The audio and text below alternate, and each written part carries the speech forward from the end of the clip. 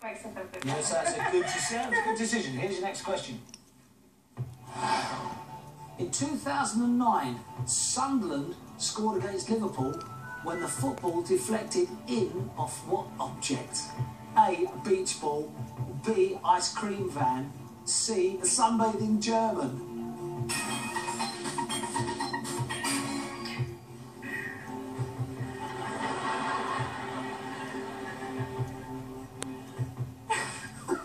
Maddest thing. That is the maddest thing. Oh, goodness me. You've put.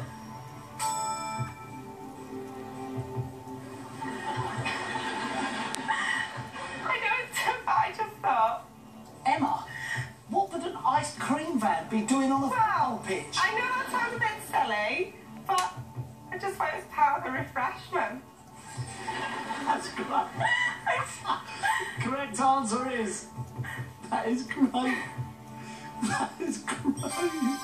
It's a beach ball. I don't know how. Oh, It's a beach ball. Someone brought it into the match and just threw it on the pitch oh right. to distract us. They blew it up, put it in the pocket, blew it up in the round threw it up. Okay. All right, it's beach ball. You're staying where you are. Chaser has put. Big football fan.